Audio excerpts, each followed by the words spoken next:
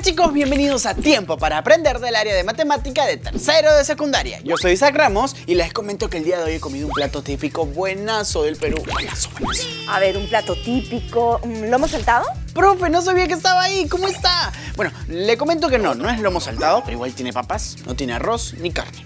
A ver, no tiene arroz ni carne, pero sí tiene papas. Ah, ya sé. Tú comiste pollo a la brasa. Sí, profe, exacto. He comido un riquísimo cuarto de pollo a la brasa. Delicioso. ¿Ves, Isaac? Mira lo que acabas de hacer. Has utilizado un número. Los números están en todo en nuestra vida, incluso en la comida. Por ejemplo, cuando tú pediste tu pollo, ¿cómo lo pediste?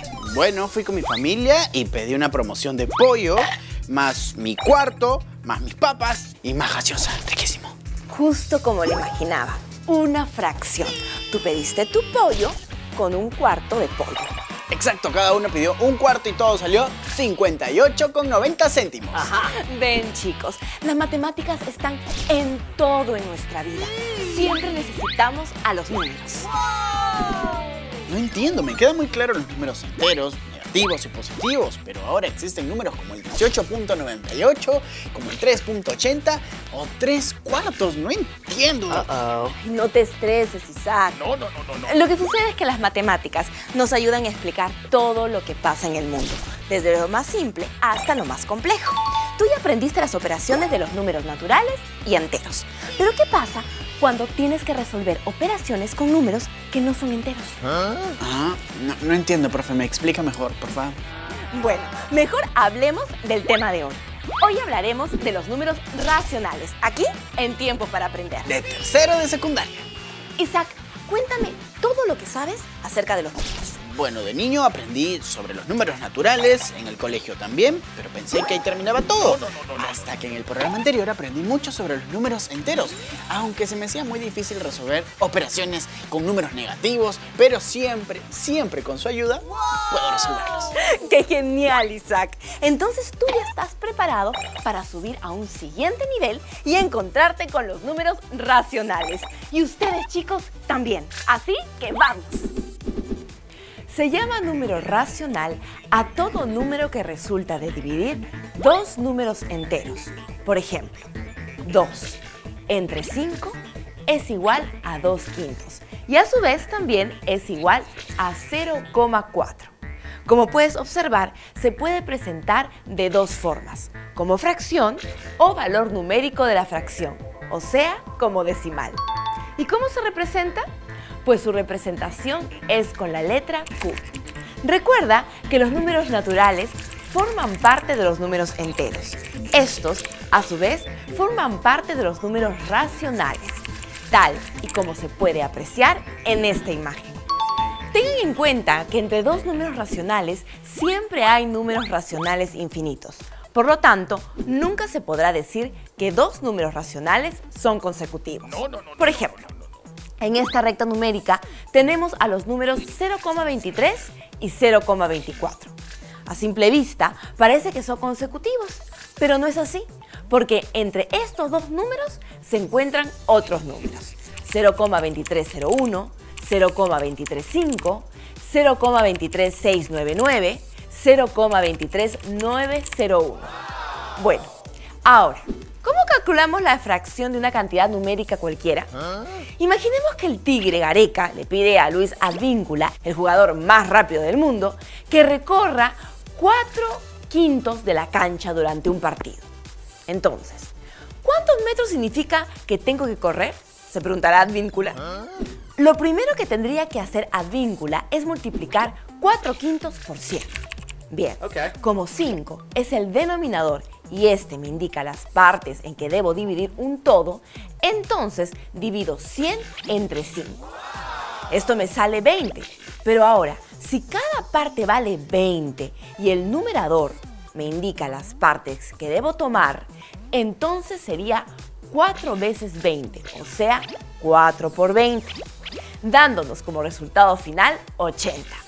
Por lo tanto, esta sería la distancia que recorrería Víncula durante ese partido. Mm, algo agotador, ¿verdad? Ahora veremos las operaciones con los números racionales. Comencemos por la suma y la resta. Para sumar, o restar dos o más fracciones, es necesario que tengan el mismo denominador. Sumar o restar fracciones con igual denominador es más fácil, porque solo se suma o resta los numeradores y se mantiene el denominador. A este tipo de fracciones se le llama homogéneas. Por ejemplo, en esta operación de 2 tercios más 5 tercios más 7 tercios, solo se suman los numeradores, esos son 2 más 5 más 7 sobre 3. Entonces, el resultado es 14 tercios. En la resta ocurre lo mismo. Por ejemplo, tenemos 9 medios menos 4 medios. Aquí solo se resta 9 menos 4 y respetas el denominador. Entonces la respuesta es 5 medios.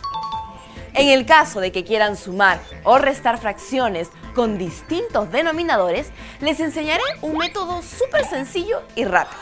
Por ejemplo, si queremos un medio más 3 cuartos, podríamos usar los métodos conocidos como el ASPA o el mínimo común múltiplo. Pero no. No, no, no, no, no. Mejor usemos el método de homogenización. ¿Qué hay que hacer? Pues solamente tenemos que hacer que los denominadores sean iguales, o mejor dicho, que las fracciones heterogéneas se conviertan en homogéneas. En este caso, multiplicamos el 2. Okay. ¿Por cuánto lo tenemos que multiplicar para que nos dé 4? Exacto, por 2. También se tiene que multiplicar al numerador, en este caso al 1. Entonces obtenemos lo siguiente, 2 cuartos más 3 cuartos. Una vez convertida esta fracción heterogénea a una homogénea, hallamos el resultado 5 cuartos. Muy bien, ahora pasamos a la multiplicación. Aquí no nos compliquemos, pues solo tenemos que multiplicar los numeradores y los denominadores. Por ejemplo, 4 sobre 6 por 7 sobre 3. Esto es igual a 4 por 7 sobre 6 por 3. Entonces obtenemos 28 sobre 18. Y si simplificamos, el resultado es 14 sobre 9. Pero, ¿qué pasa si queremos multiplicar 3 o más factores? Multiplicamos el primer factor por el segundo. Y el resultado de esta operación lo multiplicamos por el tercer factor. Por ejemplo, aquí vemos 2 tercios por 3 cuartos por un quinto. Multiplicamos el primero por el segundo, 2 tercios por 3 cuartos. Igual 6 sobre 12. Ahora, este resultado lo multiplicamos por el tercero. 6 sobre 12 por un quinto. Y finalmente obtenemos como resultado 6 sobre 60. Ojo, que este valor se puede simplificar. Profesora, ¿pero cómo lo hago? Pues es simple. Solo sacas mitad a cada uno. Esto te da 3 sobre 30. Ahora podemos seguir simplificando. Bien, saquemos la tercera parte y nos quedaría 1 sobre 10. Ahora sí, eso sería nuestro resultado final simplificado. ¿Y la división? Va, no te preocupes, es más fácil de lo que te imaginas. Solo tenemos que multiplicar el numerador de la primera fracción por el denominador de la segunda y el denominador de la primera por el numerador de la segunda. Para que no se mareen con la explicación, veamos el siguiente ejemplo. Aquí tenemos 5 tercios entre 7 cuartos. Entonces, ¿cómo lo resolvemos? En sí existen dos maneras para dividir fracciones. El primer método es por multiplicación en aspa. En este caso, el numerador es el producto de 5 por 4. Y como denominador tenemos al producto de 3 por 7. Esto nos da un resultado de 20 sobre 21.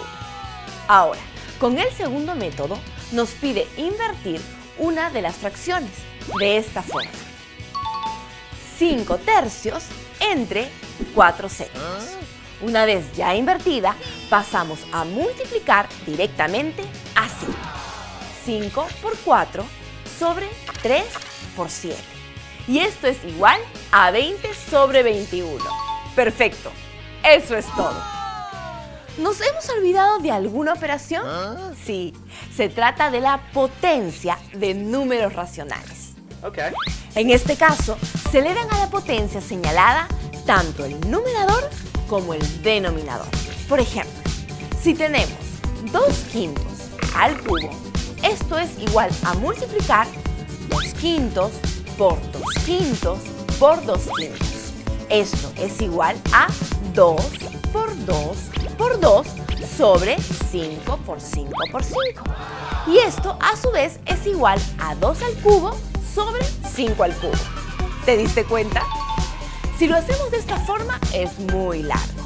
Es por esto que el exponente 3 se distribuye tanto al numerador como al denominador, para ahorrarnos todo ese proceso largo. Muy bien, entonces, ¿cuánto sale 2 al cubo sobre 5 al cubo? Exacto, sale 8 sobre 125. Si el exponente es par, la potencia es positiva. Caso contrario, si el exponente es impar, la potencia es negativa. Por ejemplo, aquí, en menos 2 cuartos al cuadrado es igual a menos 2 al cuadrado sobre 4 al cuadrado. Y como el exponente es par, el resultado es 4 sobre 16. Es positivo.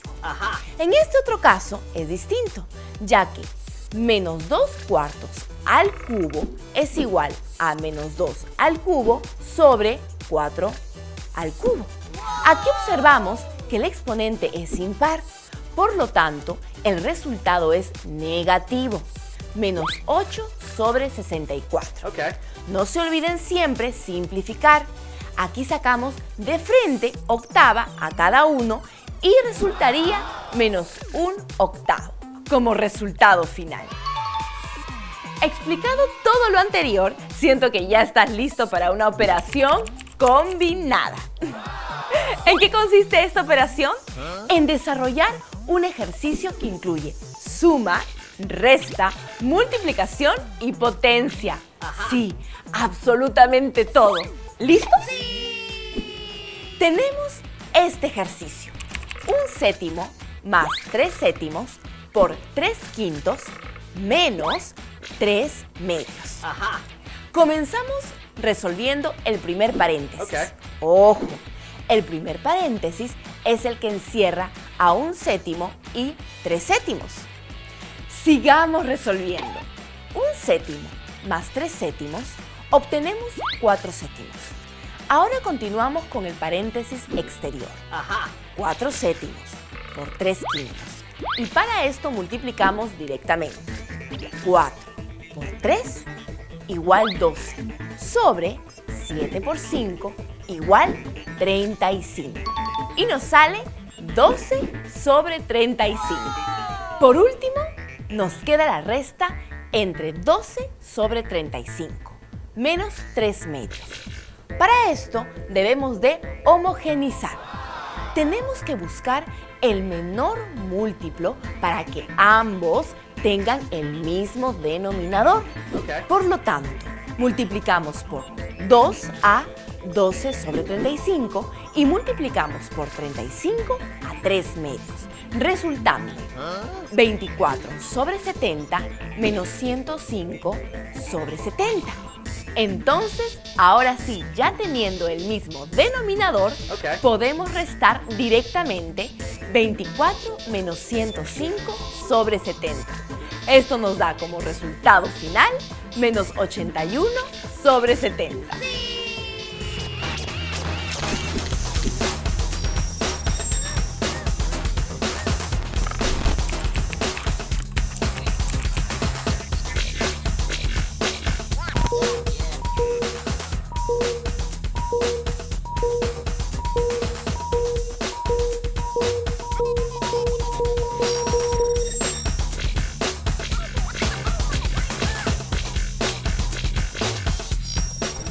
Chicos, qué bueno tenerlos de vuelta en tiempo para aprender del área de matemática de tercero de secundaria.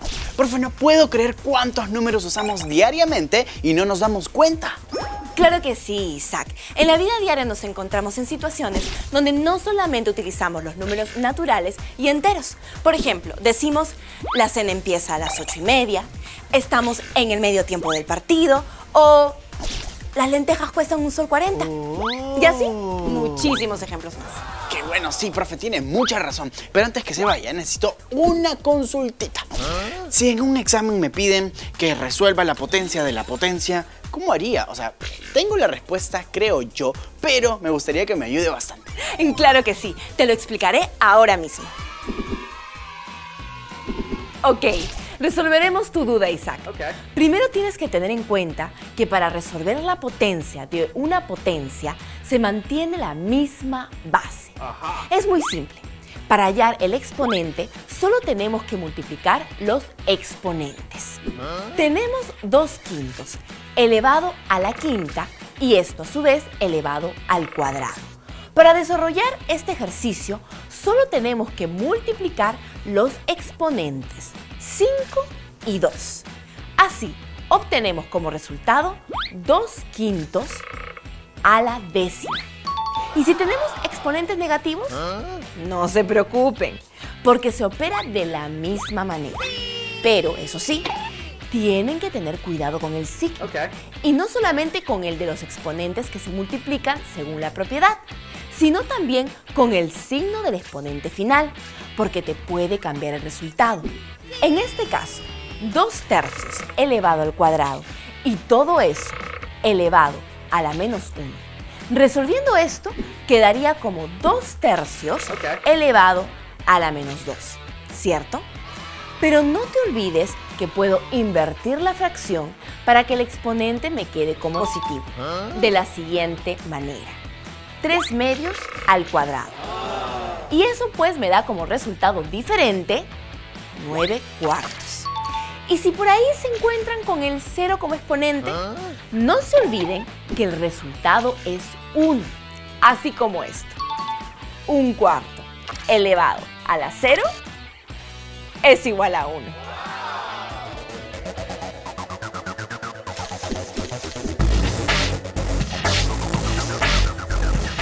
Los números racionales son representados por la letra Q.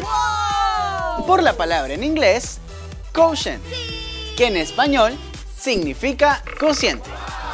Como ya saben, todo número racional puede ser representado como fracción común, es decir, el cociente entre dos números enteros. La palabra racional, que significa parte de un todo, el cual se fracciona, puede dividirse siempre el resultado en partes iguales. Chicos, llegamos a la parte final del programa. Espero hayan comprendido muy bien el tema de los números racionales. ¿Lo han aprendido un 50%? ¿Un cuarto? ¿Medio? Bien, Isaac, ¿ves? Has utilizado los números racionales de una forma divertida. Y todo gracias a usted, profe. Siempre aprendiendo con lo mejor. Bien, y te comento que en el siguiente programa vamos a hablar sobre los exponentes, por si a alguno de ustedes les ha quedado alguna duda. Me parece genial. Y ustedes, chicos, no se olviden de darle like en Facebook y en Instagram, que estamos como USMPTV. ¡Chao!